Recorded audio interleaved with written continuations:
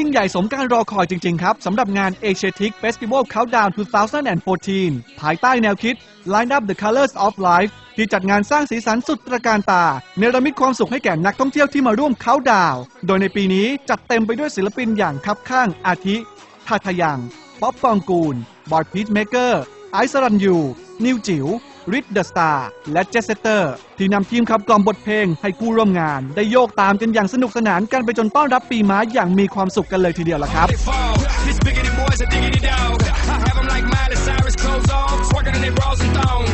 นอกจากนี้บริษัทไทยเบเวอร์เรจมาร์เก็ตติ้งจำกัด ในนามเครื่องดื่มตราช้าง Presents Asiatique Festival Countdown 2014 ซึ่งเป็นผู้สนับสนุนหลักของงานนี้ ได้ขนกิจกรรมดีๆ พร้อมนำเบียร์ช้าง Export รสนุ่ม ดื่มง่าย ลื่นคอ ผลิตจากมอลต์แท้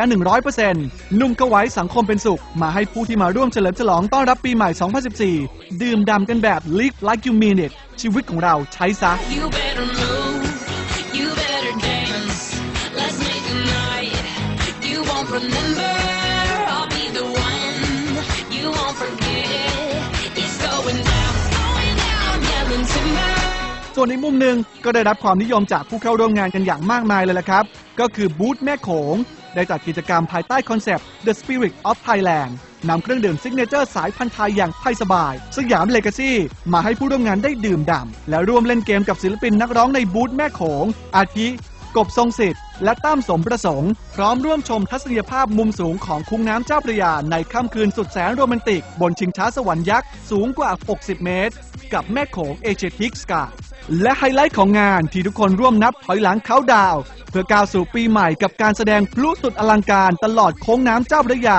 สุดยิ่งใหญ่อลังการ เรียกเสียงฮือฮาแก่ผู้เข้าร่วมงานได้อย่างมากมาย เป็นการต้อนรับปีใหม่ 2014 อย่างประทับใจไม่รู้ลืม ที่ทางบริษัทไทยเบเวอร์เรจมาร์เก็ตติ้งจำกัด และ Asiatique The Riverfront ได้จัดขึ้นเพื่อส่งต่อความสุขให้กับคนไทย เป็นของขวัญต้อนรับปีใหม่ในปีนี้นั่นเองครับ